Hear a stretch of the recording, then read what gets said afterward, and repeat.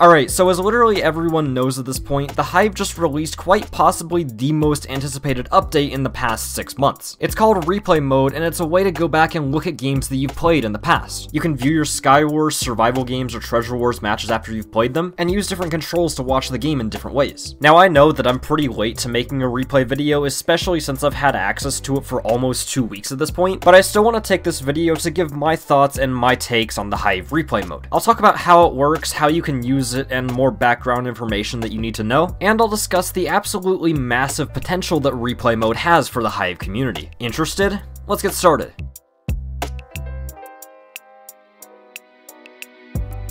Alright, so if for some reason you've been living under a rock and you don't know what replay mode is, like I said in the intro, it's basically a way that you can go back and watch past games. Specifically, it's for the PvP game modes on the Hive, which are Skywars, Treasure Wars, and survival games. Replay mode was part of an update that released on Friday, October 22nd, and if you've played a match in any of those PvP game modes in the past 30 days, you can go back and watch it, assuming you have the replay pass. The replay pass is another thing that was added along with that update, and it gives you access to replay mode for a year at the cost of 830 Minecoins, or about $5. Yes, I know some people are upset at the cost of it, and I'll talk about that later in the video. Still, once you have access to replay, you can do slash q replay on the server, and it'll bring you to the replay hub. Once there, you've got two options, your replays or view by ID. They're pretty self-explanatory, I feel like. Your replays gives you access to all of your replays in the past 30 days, and view by ID lets you watch other people's replays that they can give you a code for. Let's say you want to watch watch one of your own replays though. You go into your replays, you select it, and it takes you in. Once in the replay, you've got a lot of options in your hotbar. Again, I feel like most of them are pretty self-explanatory, but in case you need an explanation, here's a quick rundown. The play button, or the pause button when a replay is playing, plays and pauses the replay. Again, not really rocket science. You can also rewind or fast forward a replay in 5 second intervals by using the double triangles. If you want to slow down everything that's happening in the replay, you can use the slow motion button, or speed everything up by using super speed. Something to note is that if you want to change the speed or lack of speed in these, you can go into your control settings and modify slow motion or super speed. While we're here, there's also no clip which lets you go through blocks. You can get some really cool shots this way that you otherwise wouldn't be able to get. Moving on, you can change the playback direction, which basically means that you can play the replay in reverse. There's probably some real practical uses for this, but I think the most fun thing to do with it is use it while playing a certain song.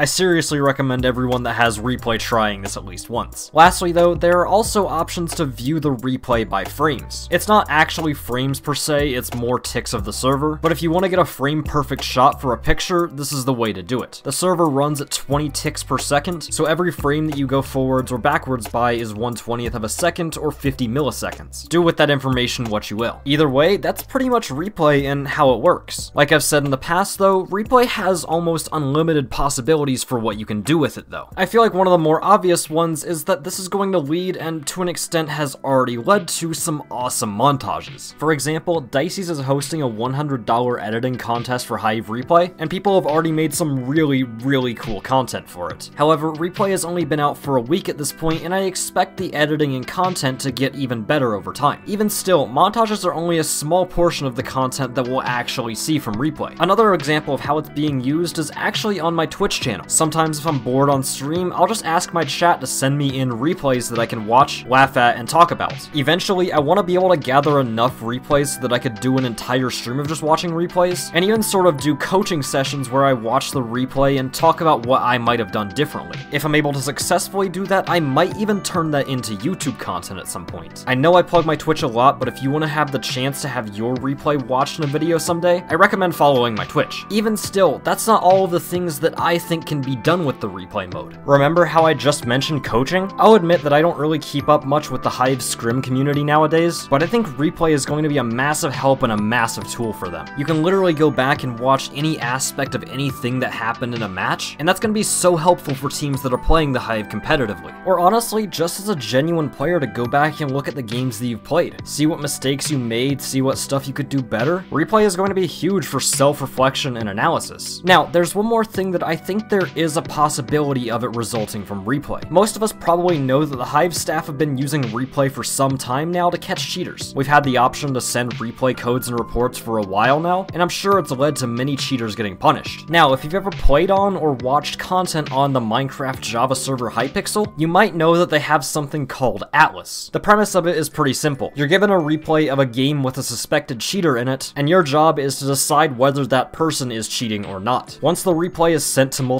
people, and everyone gives their decision, action is taken on that suspected player. Now, I could see the same thing possibly coming to the Hive, but there would have to be some requirements of some sort. Obviously, you can't just let any random player make a decision on whether someone's cheating or not. There would probably be some sort of level requirement, and maybe some sort of trust requirement as well. A lot of work, time, and thought would have to be put into the system to make sure that it's actually helpful and useful to the Hive, and I am by no means confirming that it's actually going to happen. All of this is just an idea that I'm speculating about.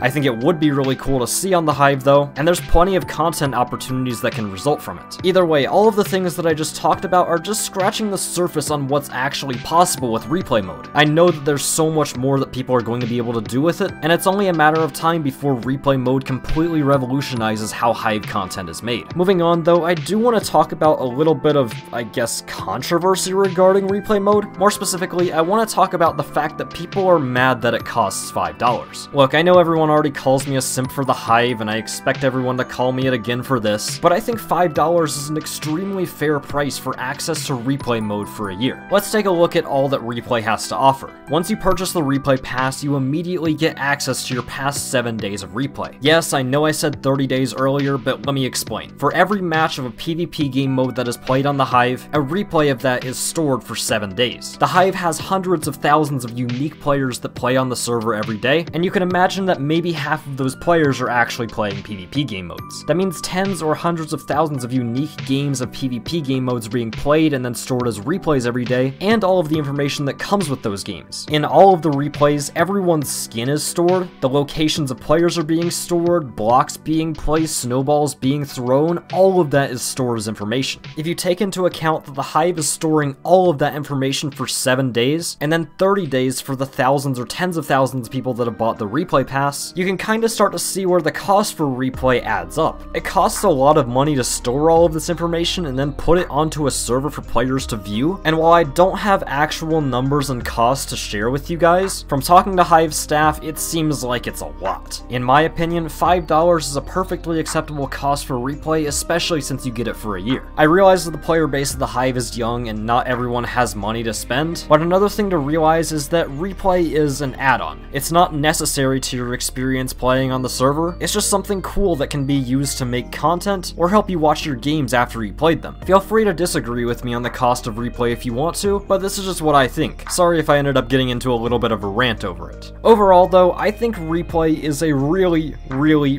really good thing for the future of the Hive. It opens up so many content options for content creators, and it's just a really good tool for the quality of life of casual players. It's really nice to see the Hive starting to drop some of their really big updates that they've been promising, and if you want to learn more about the Hive's big Halloween update that happened recently, I recommend going and clicking the video that just showed up on screen. With all of that being said, that's gonna be it for this video, thank you all for watching, and I will see you in the next one. Peace out.